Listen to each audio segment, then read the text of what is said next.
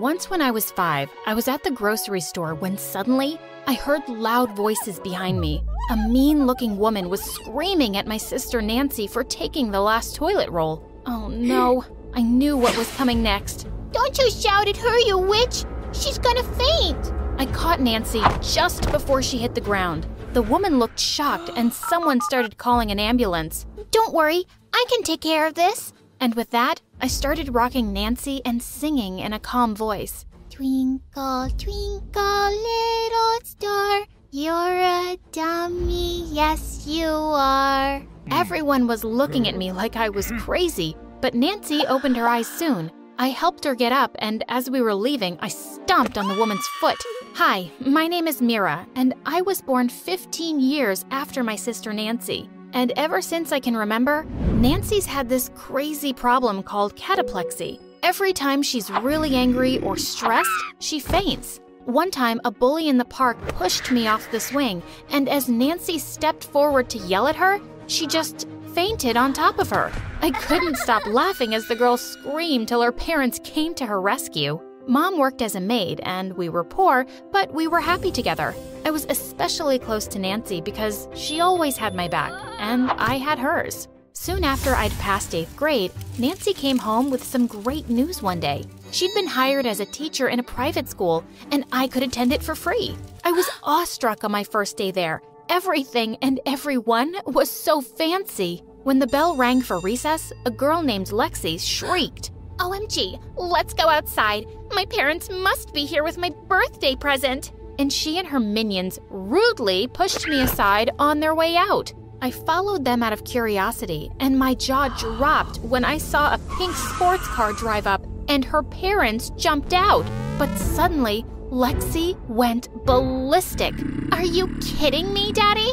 A Mercedes? My name is freaking Lexi, and I wanted a freaking Lexus with a number plate saying Lexi. Are you guys morons? You're ruining my life. And then she started pulling her dad's hair, and he started crying and apologizing. Gosh, what planet were these people from? Well, now I was on the planet of jerks too, and Lexi was the president. One day in class, the teacher was testing out our mental math skills and asked, What's the probability of rolling an even number on a dice? Lexi's hand instantly shot up. I don't know, but it's definitely higher than the probability of you ever finding a boyfriend. Loser! As the teacher's face turned red, I felt terrible. Hey, that's really rude. Didn't anyone teach you any manners? The class fell silent, and Lexi stared at me like I'd killed her cat. You think I can't tell how poor you are? Someone like you shouldn't be messing with someone like me. That was stupid times infinity. After that, she made it her life's mission to make me miserable. I'd find stinky tuna in my locker, orange juice all over my notebooks, my bag in the toilet. And even though I was doing great at school and the teachers loved me, no one dared say anything to Lexi because her parents were big donors. But then she went too far. One day, I was having lunch when Lexi came over, and she climbed onto the table and kicked my plate away. Kiss my shoes, loser, and I'll make you part of my gang. We could use a nerd to do our homework. I'd had enough. I got up to kick her butt when suddenly Nancy walked in and pulled her down. What do you think you're doing? Stay away from my sister. Sister? Wow, I do see the resemblance actually. You both look like some homeless people let you borrow their clothes. Nancy looked furious, and next thing I knew, she'd fainted smack onto Lexi with her food tray. Lexi went mental and stormed off straight to the principal. That teacher attacked me, and she ruined my limited edition Gucci dress. I'll report her to the police. She has a health issue, you psycho. She didn't do it on purpose. I want her fired. Even though the principal was sympathetic, she said she had to let Nancy go. But since I was a good student, she'd let me stay on scholarship. I was so furious. I decided I was gonna leave anyway, but Nancy wouldn't hear it. You have a chance to get a great college scholarship if you study here, Mira. I'm sorry I made things worse for you, but you have to go. With Nancy losing her job, I knew money would be tight again, and I didn't want her and mom worrying. So I found a tutor's job and started teaching math to a couple of super spoiled brats. One evening when I was leaving their house, their snooty mom handed me a bag of trash and a large painting. Someone gave me this but ugly painting as a gift. Be a dear and throw this on your way out.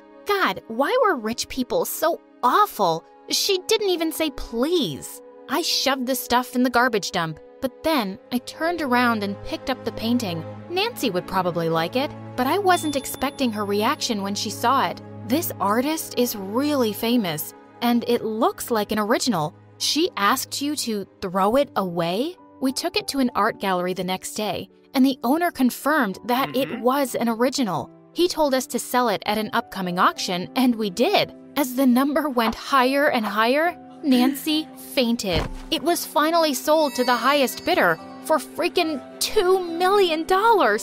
What? We went into complete shock for a minute, and then we started hugging and dancing for joy. We were rich from some rich idiot's trash. And just like that, our lives changed. We moved into a better apartment immediately and decided to spoil ourselves a little. The three of us went on a shopping spree, got spa treatments and makeovers, had a few fancy dinners. We had a blast. And when I walked into school after the weekend, I could instantly feel all eyes on me. As I put my stuff away in the locker, I closed the door to find Lexi standing behind it like a creep. And then I saw we were wearing the exact same outfit. You have to take your clothes off. What? How can you even afford this? And no one is allowed to wear the same clothes to school as me. Now, just take these gym clothes and go change. Lexi, you can bully your friends and parents and teachers to get your way, but it's never going to happen with me.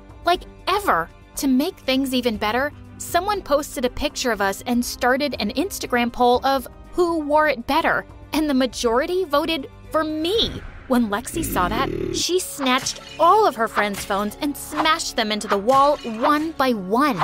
And just like that, a war had started between us. I already had better grades, and now hmm. I had just as many friends and boys around me. One time at a big football match, Lexi was busy mm-hmm. flirting with all the jocks, but the minute I sat down on the bleachers, the whole team came running towards me.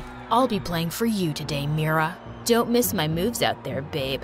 That was weird, but it seemed to be making Lexi livid. So I blew them all kisses and said I'd be cheering them on. And when they won, they literally carried me off on their shoulders to the celebration party. But the final straw was when the student council elections came around. Usually, no one even bothered to stand against Lexi as president, but I decided to run, and I won by a freaking landslide. This is not possible. I want to recount. I smell foul play. Lexi, it's about time you understood that people might fear you, but they'd rather vote for someone they actually like, and that's not you. I won fair and square, so deal with it. Well, she did deal with it. In a way I didn't see coming. I'd been working for months with my teacher on a math research paper for a university competition. Winning it could get me a full scholarship after high school. So when my teacher called me one evening to say that I'd won first prize, I fell off my chair at the dining table. Mom and Nancy were so proud of me. But when I went to the principal's office to meet the university dean, I was shocked to find Lexi there with her parents. What are you doing here, Lexi? What are you doing here, Mira? I'm here to talk more about the prize and scholarship I just won. I looked around at everyone in shock, and then I just snapped. Oh my god, you mean the scholarship you just bought with mommy and daddy's money? Because you sure as heck aren't smart enough to win anything. Lexi snarled and attacked me, pushed me straight onto the principal's desk. I grabbed a bottle of ink and flung it into her eyes. As the principal screamed and Lexi's parents tried to stop her, she just kicked them. When the grown ups finally managed to pull us apart, the principal was furious. That's it. I don't care how much you donate, sir. One more incident like this, and Lexi will be expelled. And with that, she pushed us all out. As I was about to storm off angrily, I turned to Lexi's parents. You guys have raised a monster. Can't you see she has no respect for anything or anyone? Not even you? You can buy her everything she wants, and she's never going to love you or thank you for it. For the next few days, I pretended like Lexi didn't even exist. And then she didn't come to school for a week. No one was happier than me. But one night, Nancy and I were driving through her neighborhood when we crossed her house, and it seemed pitch dark. Had she left town? I asked Nancy to stop for a minute, and I walked up to the house to look through a window. I found Lexi sitting with her parents on the floor, eating with candles on. There was no furniture. What was going on? I can't even see what garbage I'm eating. How can we not have any electricity? This is what it means to be broke, Lexi. We can't pay for things. Ugh, I hate you, Dad. I can't live like this. I wish I'd never been born to a loser like you. It's not my fault the market crashed. You want me to put you up for adoption? That girl Mira was right. You're awful. I sneaked away from her house, feeling super weird.